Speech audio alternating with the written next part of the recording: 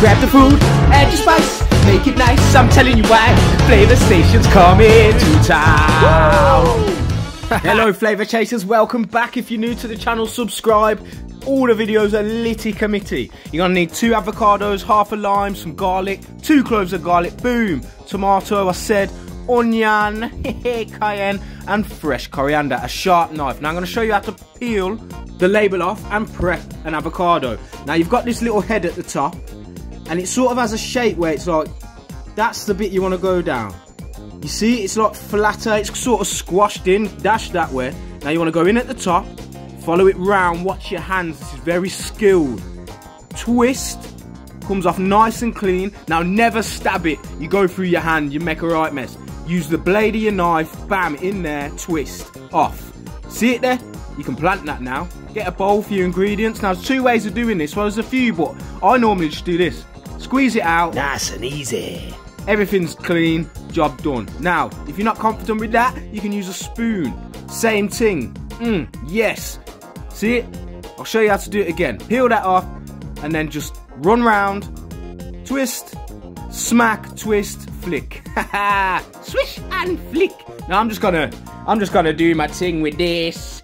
For those of you who don't know what a guacamole is, or what it's made of, you just get it in a pot. It's basically the ingredients here, made a bit spicy, with sharp lime and sweet tomato and fresh garlic flavour, and it's Mexican. Using a fork, you just want to mash it down, but don't completely get rid of the lumps. You want some of them in there. You want that texture. You want that, see it there? Mmm, now, squeeze your lime in. Mmm, juice of half a lime. Catch them pips. Catch them pips, bloody! Bombo. See, there's something that pattern up, you know, brethren. Ah! Yes, man, mix that in. Mix and mix, uh, mix and blend. We are friend. Remember, this is Flava Station, not Trainer Station. We're not waiting about. Tomato. Dice this tomato. See it there? Go round the edges, eliminate the core. No juice. See? Remove your seeds and that. You don't want to water down your guacamole. Remove the seeds and the juice. Just chop it small like that. See it there? Tomatoes, chopped blood. Nicely. Gives it that sweet little pop every time you get a bit of that in there. One onion. Dice is small. Yes, man. Just in there like that. Two cloves of garlic, chopped small, same way. Get it as small as you can. You want that running through like a bad boy blood. Yes, man. Chopper, chopper. Nice chopping board. Available soon. Yeah, now get that in there. Jobs are good un. Coriander, coarsely chopped. Just give it a little hint. Little floral hint of that lovely flavour. Oh, Hermes are at the door. One sec.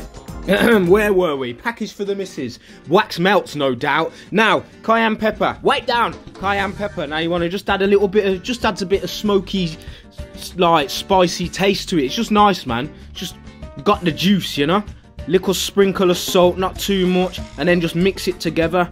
Mm. I'm not going to be using this till tomorrow, so I'll show you how to preserve it and stop the top going brown. You know when it goes brown on top? Nasty. Mmm, look at that.